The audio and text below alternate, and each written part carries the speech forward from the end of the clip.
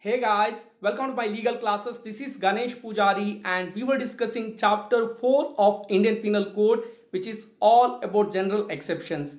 In my last class, I have given the complete structure of this particular chapter where I have given the structure of all the 31 sections and here this is the second video where we are going to discuss the first four provisions that is section number 76 to 79 which are discussing about mistake of fact and judicial acts. I am going to explain all the four sections along with illustrations and case laws. That way it becomes a comprehensive approach. With that I am taking you to the first slide.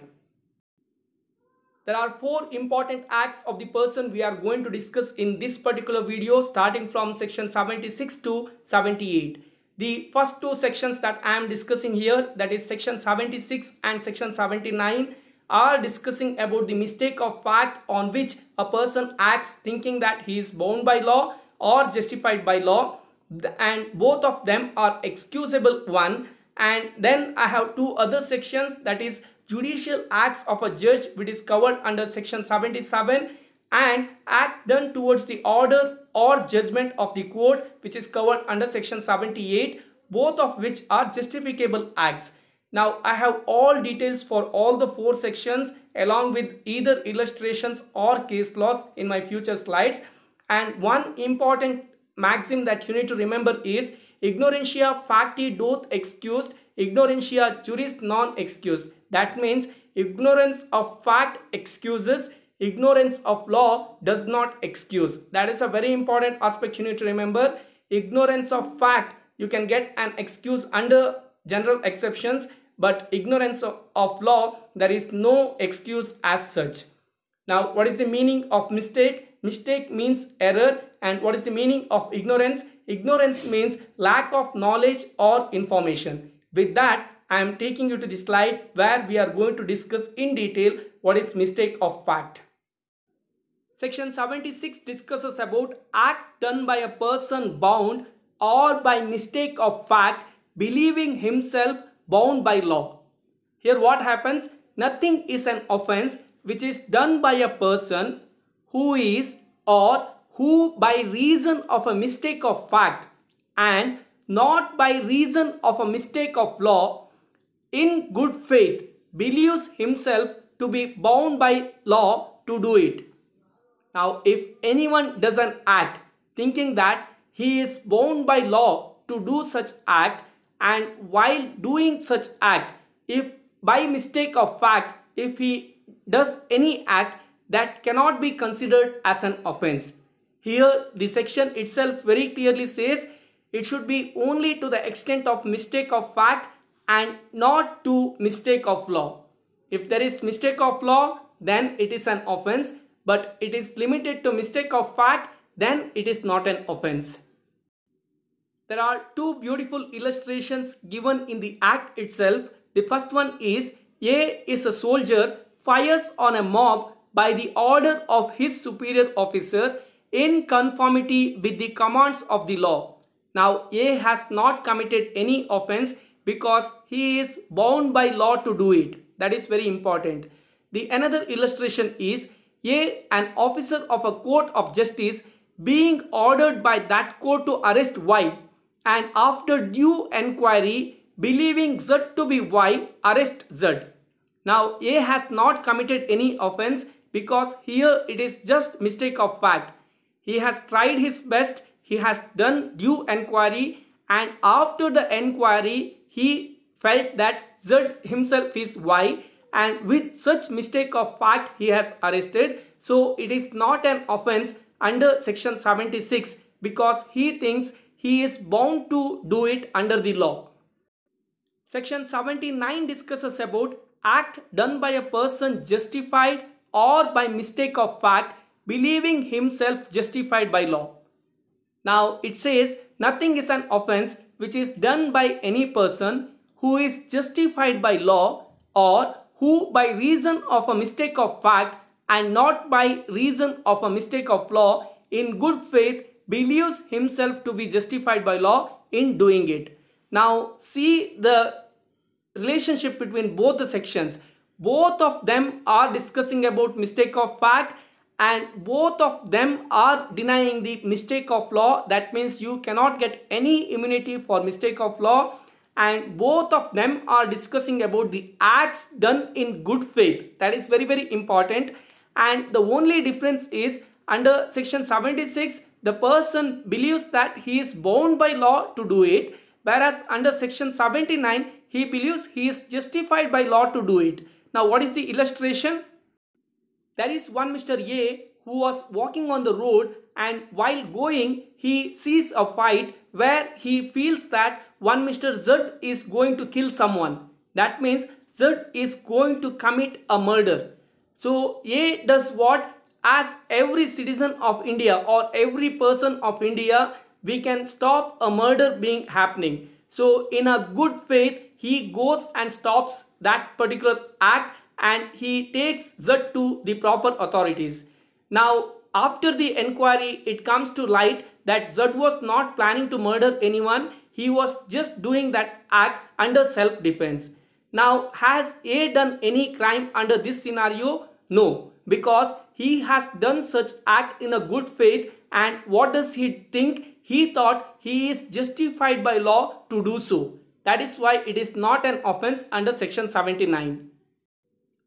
Now let's go through few important case laws as far as excusable mistakes are concerned and one of the most important case law that you should refer is R versus Tolson which is 1889 case. What happened here? There was a lady by name Tolson who got married in the year 1880 and her husband deserted her after a year. Later Tolson got a news that her husband was lost in a ship which sank. Now, thinking that her husband is died, she gets married again before the completion of 7 years. However, her husband came back and put a bigamy case against her and it was held that because Tolson did such act thinking that her husband is already died which was basically a mistake of fact. So she is not committed any offense and she got the immunity under these sections. The second case law that is State of West Bengal versus Shew Mangal Singh. What happened here? Deputy Commissioner of the area ordered for open fire in a particular area and subordinate officers shot two brothers to death and the other brother put a case against these subordinate officers. Both the High Court and Supreme Court held that the action was bound by law and subordinate officer cannot be held liable for obeying the instructions of the senior officer. So they got the immunity under these sections. The third case law that we are discussing is Chirangi versus State. There was a father and son. Father was the woodcutter and both of them were in forest and at some span of time father thought that his son is a tiger and by mistake he killed him. And there was no mens rea available. That means he never had any intention of killing his own son. So it was held that it was a mistake of fact. That means he got mistaken his son as a tiger and he got a immunity. Now the last case law is state of Orissa versus Khora Ghasi where the accused while guarding his field shot an arrow on the moving object thinking that or in a good faith that it was a bear but the shot resulted in the death of a person. However, he got the immunity under the mistake of fact. That is the last case law that I am discussing. There are many more case laws available in different other sources. And remember, there are four important essentials that you need to remember while discussing about mistakes of fact. The first being the good faith should be available. If there is mens rea available, that means if there are any ill intentions are available then you cannot get any immunity under these two sections section 76 or 79 the second one is absence of criminal intention that i think i have already covered with good faith so it should be done with good faith only and if there are any criminal intention then you cannot get exception the third one is reasonable enquiry must have been done now, if a police officer is going to arrest A and instead of A, if he is arresting B just like that, it is not okay. He should try to identify Mr. A as Mr. A. He should ask for the ID and whatever stuff or maybe with the local people, all those stuff should be done. and only after reasonable inquiry if he does a mistake then he definitely can get immunity under this particular section. So reasonable inquiry is one another important aspect and the last essential is the person considered that the act he had done is justified by law. He should either feel that he is bound by law or by justified by law. Unless and until that is available, this section will not be give any benefit to anyone. That is all about these two sections. Now let us look at few judicial acts. Then comes two important sections which are discussing about the judicial acts and both of them are very very simple. The first being section 77 which discusses about act of judge when acting judicially. It says nothing is an offense which is done by a judge when acting judicially in the exercise of any power which is or which in good faith he believes to be given to him by law. Now all words are very very important. First thing it says nothing is an offense when it is done by judge.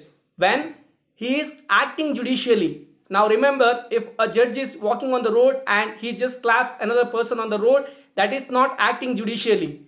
When I say acting judicially he is sitting inside the court hall and while dealing with the case. Now that is when he is acting judicially and while exercising his power so in whatever level in his jurisdiction while exercising his power in a good faith or he believes that he has got such power by law. Now in such thought if he is doing any act that is not an offense under section 77. Now the illustration for that is a judge cannot be held guilty of murder for granting a death penalty.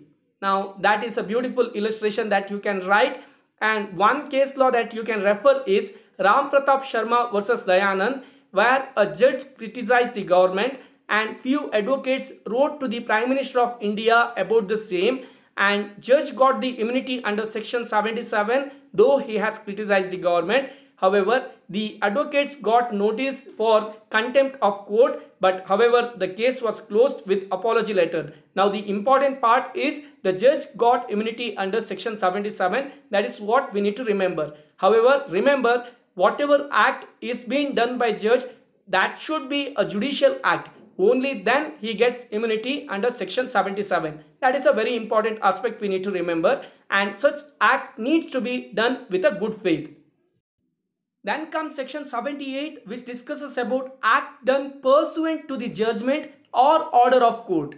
What does pursuant means? Pursuant means in continuation. Now here act done in continuation to the judgment or order of the court. This section is in a way furtherance of section 77. There we are discussing about the act of the judge. Here what happens? The act of the judge is over. Now there is either judgment or order available. Now somebody has to implement it.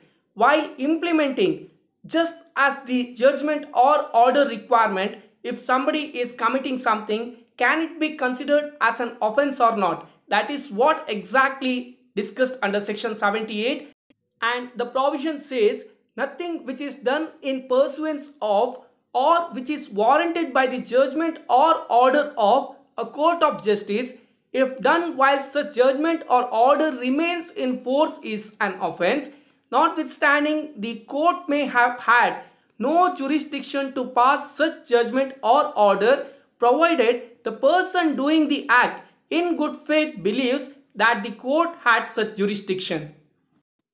What happens here? There is a court which has issued a warrant or judgment or a order and there is a person who is responsible to take care of the furtherance or the implementation of such warrant or judgment or order. Now on the basis of this thing, if he is committing any act that cannot be considered as an offense because he is judicially bound to do that act. What happens if the court which has passed such judgment or order don't have the jurisdiction and even then if it has passed now in this case, if the person who is implementing such order or judgment, if he in good faith believes that the court had such jurisdiction, then he gets the immunity here.